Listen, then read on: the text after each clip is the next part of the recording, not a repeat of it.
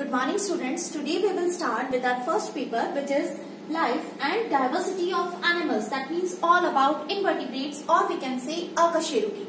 Okay, so first of all we will discuss diversity of animals. Diversity uh, means all the animals they are different in their shape, size, colour habit and habitat that means जो सभी animals होते हैं, वो अलग अलग प्रकार के होते हैं। उनके अंदर न केवल आकार को लेके, न केवल आकृति को लेके, न केवल हैबिट को लेके हैबिटेट को लेके कलर को लेके विभिन्नताएँ पाई जाती हैं। एनिमल्स जो है वो अलग अलग आकार के हो सकते हैं। अगर मैं शेप की बात करूँ तो अलग अलग आकार के होंगे। कुछ एनिमल्स जो है वो स्पैरिकल होते हैं। कुछ एनिमल्स जो है वो स्क्वायर शेप होंगे। कुछ लंबे एनिमल्स होते हैं। कुछ जो है, उनके अंदर उनकी जो शेप है वो फिक्स ही नहीं होता। फॉर एग्ज़ाम्पल प्रोटोजोन्स जो होते हैं स्पेसिफिकली अमीबा जो होता है, उसका शेप जो है वो फिक्स ही नहीं होता। और इसी तरह से हम साइज़ की बात करें तो साइज़ में अगर बात करूँ तो कुछ एनिमल्स बहुत छोटे हैं। फॉर एग्ज़ाम्पल प्रोटोजोआ जो कि अकशेरुकी अकशेरुकी एनिमल तो है ही साथ के साथ सिंगल सेलुलर एनिमल है. दैट मीन्स यूनिसेलुलर एनिमल है. एक कोशिकीय एनिमल है.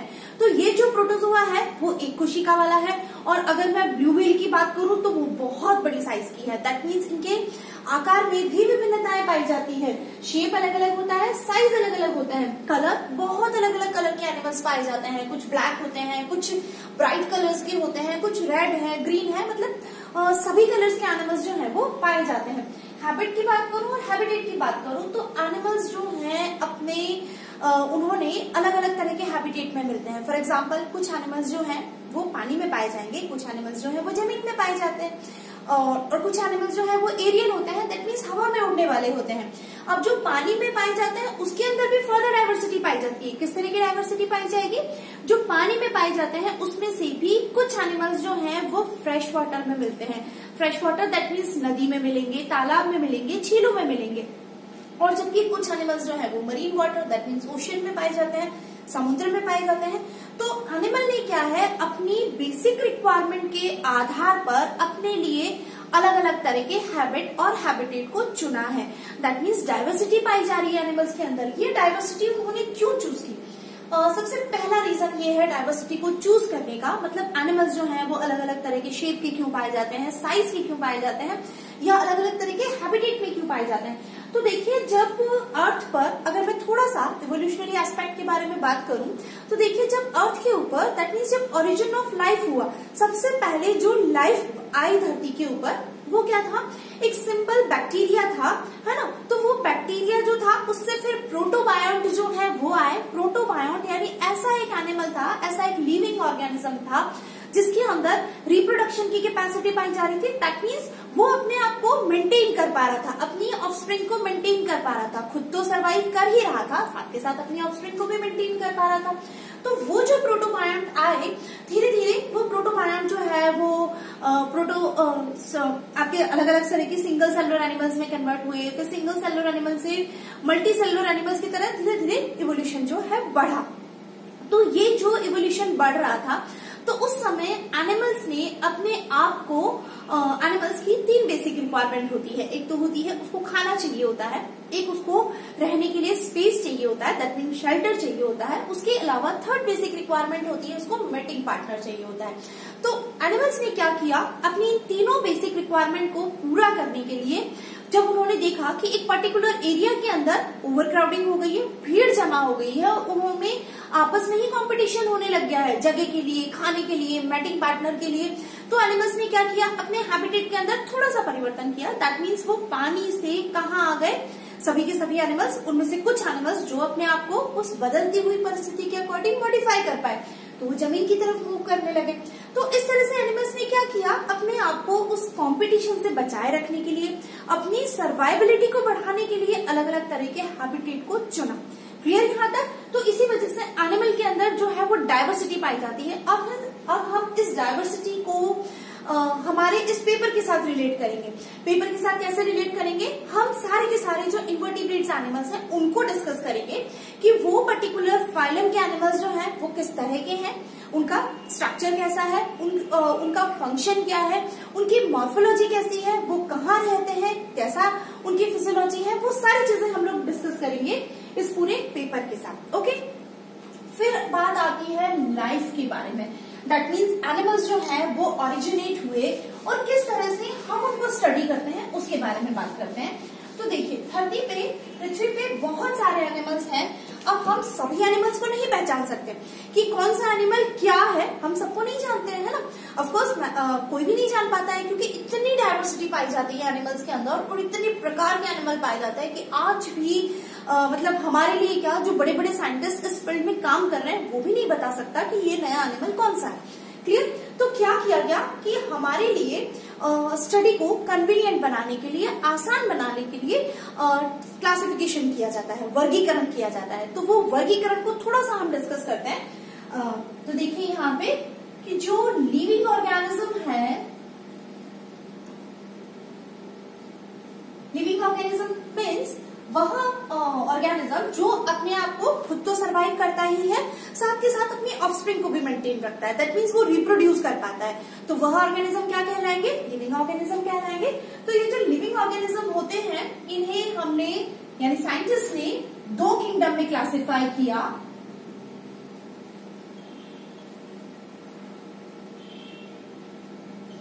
Plant kingdom and the second is animal kingdom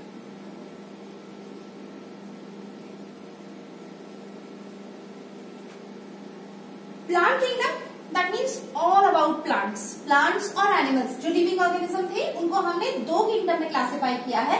plants यानी कि जो स्थिर रहते हैं, जिनके अंदर ग्रीन कलर का पिगमेंट दैट मीन्स क्लोरोफिल पाया जाता है, और सेल के ऊपर सेल वॉल पाई जाती है. है ना? सेलुलोज से बनी हुई सेल वॉल पाई जाती है. तो वो क्या कहलाएँगे? Plants कहलाएँगे. That means study of plants which is known as botany तो ये सारा का सारा पोर्शन जो है प्लांट किंगडम ये वाला पोर्शन आप कहा स्टडी करने वाले हैं? बॉटनी के अंदर स्टडी करने वाले हैं। So we will concentrate on this kingdom zoology means study of animals तो हम लोग यहाँ पे एनिमल किंगडम के ऊपर कॉन्सेंट्रेट करने वाले हैं।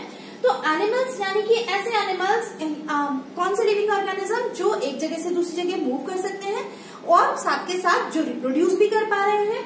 तो ऐसे एनिमल यानी वो क्या कहलाएँगे? एनिमल किंगडम के अंदर इंक्लूड किया जाएगा उन लिविंग ऑर्गेनिज्म को।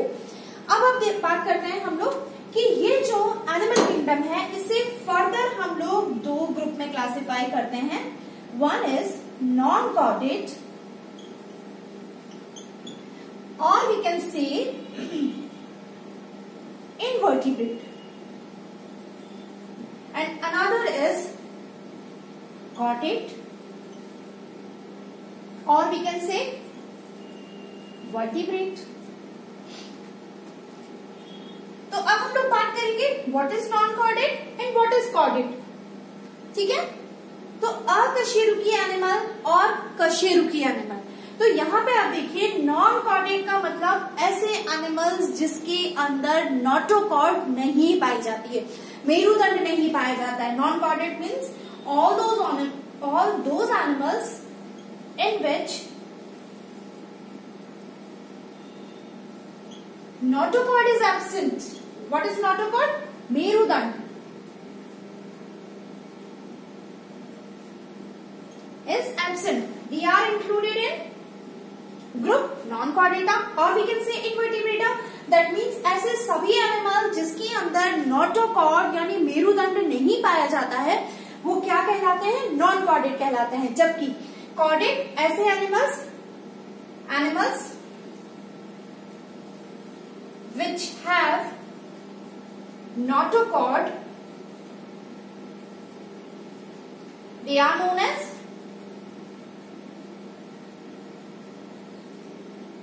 ऑडिट क्लियर तो हमने पहला डिफरेंस क्या देखा? ऐसे एनिमल्स एनिमल किंगडम में पाए जाने वाले ऐसे एनिमल्स नोटोकॉर्ड या यू कहूँ मेरुदंड जो है वो नहीं पाया जाता है। दे आर नोन कॉर्डेड जबकि ऐसे एनिमल्स जिसके अंदर नोटोकॉर्ड पाया जाता है, वो क्या कहलाएँगे? कॉर्डेड कहलाएँगे। अब मैंने एक और टर्म लिखा है यहाँ पे वर्टिब्रेट और वी कैन से इनवर्टिब्रेट तो इसका क्या मतलब है? आप देखिए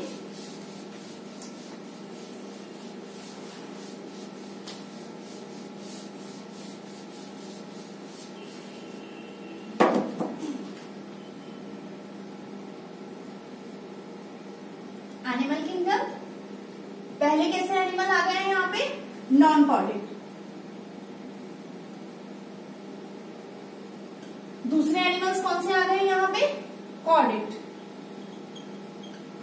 और we can say vertebrate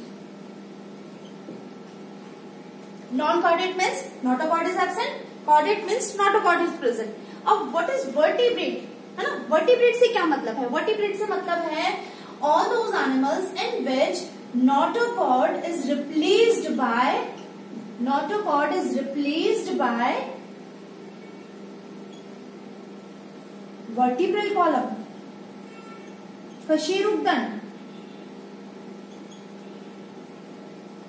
ठीक है वर्टिब्रेट्स कौन कहलाएँगे ऐसे एनिमल जिसमें नोटोकॉर्ड जो है वो वर्टिब्रल कॉलम से रिप्लेस हो गई है तो वह animal vertebrate कहलाएँगे।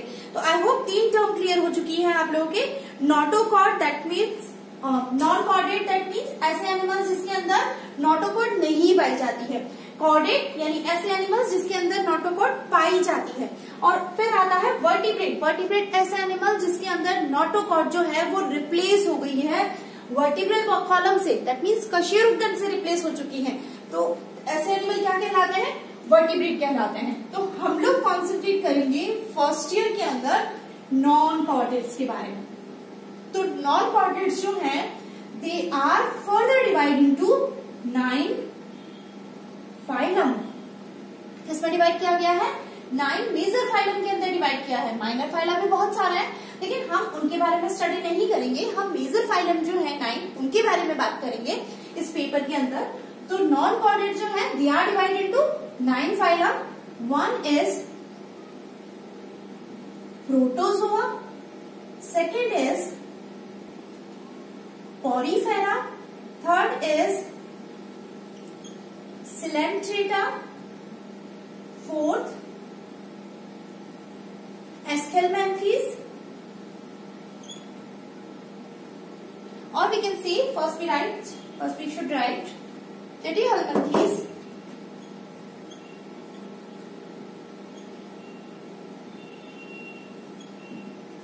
Fifth. Eskelman please. Six. Anavida. Seventh. Orthopoda. Eighth. Mollusca. And nine is Echinodermata. Okay, so non-chordates they are divided into nine phyla. नौ संघ फाइलम दैट मीन्स संघ भी बोलते हैं इसको तो यहाँ पे देखिए जो नॉन कॉर्डेट्स हैं they are divided into nine phyla first is protozoa second is porifera third is coelenterata fourth is platyhelminthes fifth is aschelminthes six is is it is annelida seventh arthropoda eight mollusca and nine is echinodermata that means non-chordates so all these phylums they are included in non-chordates ये सभी के सभी phylums के जो animals हैं वो सारे कैसे animals हैं non-chordates हैं that means इनके अंदर notochord नहीं पाया जाता है तो अब आप देखिए शुरुआती एनिमल्स जो हैं they are protozoans protozoans that mean single cellular animals होंगे. दैट मीन्स यहाँ पे कौन आएगा? अमीबा आ जाएगा पैरामिशियम आ जाता है युगलीना आ जाता है. तो वो सभी किसके अंदर आ जाते हैं? प्रोटोजोन्स के अंदर आते हैं. देन उसके बाद जो सेकेंड फाइलम आता है, वो है पॉरीफेरा तो पॉरीफेरा के एनिमल्स जो है, वो थोड़े से एडवांस है एज कंपेयर टू प्रोटोजोआ कैसे एडवांस है? कि प्रोटोजोआ के एनिमल्स जो है, वो सभी के सभी सिंगल सेलुलर एनिमल्स हैं। उस सिंगल कोशिका के द्वारा ही सारा काम किया जाता है। डिवीज़न ऑफ़ वर्क जो है, वो नहीं पाया जाता है इसके अंदर। जबकि प्रोटोजोआ के बाद जो है, वो थोड़ी से थोड़े से इवॉल्व एनिमल्स आए हैं, जो है पॉरीफेरन पॉरीफेरन जो है, वो मल्टी सेलुलर एनिमल्स हैं। है ना? उनके अंदर सेल्स जो है, वो ग्रुप में इकट्ठा होना शुरू हो गई हैं और सेल्स के अंदर कार्य का विभाजन भी मिलने लगा है। पॉलीफेरेंस के अंदर आपके आ जाते हैं साइकन है है ना? वो आ जाएगा इसके अंदर ल्यूकोसोलेनिया है तो ये सब चीज़ें पॉलीफेरा के अंदर आएँगी। फिर सिलेंट्रेट्स जो है, वो ऐसे एनिमल्स हैं जहाँ पे कोशिकाएँ जो हैं, वो बाद में किसमें मॉडिफाई हो गई है? टिश्यूज के अंदर मॉडिफाई हो गई है टिश्यू यानी उत्तक। तो सिलेंट्रेट के अंदर कौन सा ग्रेड्स ऑफ़ ऑर्गेनाइजेशन मिलने लगेगा? Tissue grade of organisation tissue मतलब group of cells which are same in structure and function यानी कोशिकाओं का वह समूह जो संरचनात्मक व कार्यात्मक रूप से एक होता है, वो क्या कहलाते हैं? उत्तक तो यहाँ पे जो है उत्तक बनना शुरू हो गए सिलेंड्रेट्स के अंदर। प्लेटी हेलमेंथीज सिलेंड्रेट्स के अंदर आप लोगों के आ जाएगा ओरेलिया आ जाता है, उसके अलावा ओबेलिया जो है, वो आ जाता है जेलीफिश से आप बोलते हो, वो आ जाते हैं। फिर आते हैं platyhelminthes platyhelminthes these animals are known as flatworms चपटे क्रमी कहलाते हैं ये एनिमल्स इसमें कौन आ जाएगा आपके? लीवर फ्लूक आ जाएगा टीनिया सोलियम आता है है ना? और इसके अलावा प्लेनेरिया जो है, वो भी आता है। तो यहाँ तक आते आते प्लेटी हेलमेंथीज तक आते आते ऑर्गन्स का निर्माण होना शुरू हो जाएगा। एस्केलमेंथीज जो है इसके अंदर भी आपके एस्कैरिस जो है, वो आ जाएगा। है ना? फिर एनेलिडा के अंदर आपके फिर से धीरे धीरे क्या हो रहा है? आप ये देख रहे होंगे यहाँ पे एनेलिडा के अंदर आपके अल्फॉर्म जो होता है, केचुआ जिसे आप बोलते हो, वो आता है, नरीज आ जाता है हेट्रोनरीज आ जाता है लीचेस जो है जॉक जिसे आप बोलते हो, वो भी इसके अंदर आता है। ऑर्थोपोडा के अंदर सारे के सारे इंसेक्ट्स आते हैं। उसके अलावा क्रिस्टिशिया क्लास से आपके प्रॉन जो होता है, झिंगा मछली जिसे आप बोलते हो, वो सब भी इसके अंदर आते हैं। और फिर एट्स जो है फाइलम वो है मोलस्का मोलस्का के अंदर सारे सॉफ्ट कृमि आते हैं, है ना? तो सॉफ्ट कृमि के अंदर आपके आ जाएगा, पाइला आ जाएगा, है ना? पोंगा जिसे आप बोलते हो, पाइला आ जाता है, यूनियो आ जाता है ऑक्टोपस जो है वो आता है, और नाइन्थ होते हैं इकाइनोडर्म इकाइनोडर्म्स के अंदर आपके आ जाएँगी कौन से वाले? स्टारफिश जो है है ना? सी अर्चिन स्टारफिश है ना? एंटीडॉन तो वो सब किसके अंदर आता है? इकाइनोडर्मिटा के अंदर आता है। तो आप देख रहे होंगे कि जैसे जैसे हम इस सीक्वेंस में आगे बढ़ते जा रहे हैं एनिमल्स जो है, वो कॉम्प्लेक्सिटी की तरफ़ बढ़ते जाते हैं। जो प्रोटोजोआ है, वो सबसे सिंपल फाइला है, जबकि इकानोडर्मिटा जो है इन्वर्टिब्रेट का, वो सबसे एडवांस फाइला है। एडवांस किस फ़ंक्शन में? स्ट्रक्चर के अंदर एडवांस है फ़ंक्शन के अंदर एडवांस है। तो धीरे धीरे एनिमल्स जो है, वो कम्प्लेक्सिटी की तरफ़ मूव कर रहे हैं। तो हम लोग शुरू करेंगे प्रोटोजोआ से और एंड करेंगे इस पेपर को इकाइनोडर्मिटा पे। तो हमें इन सारे फाइलम को स्टडी करना है इस, इस पेपर के अंदर ओके सो आई होप आपको यहाँ तक समझ में आया होगा। आप लोग पढ़िए समझिए और मैंने आप लोगों के साथ सिलेबस जो है वो शेयर कर लिया है तो आप इसको समझिए कुछ प्रॉब्लम होती है तो आप मुझसे ग्रुप में डिस्कस कर सकते हैं okay thank you so much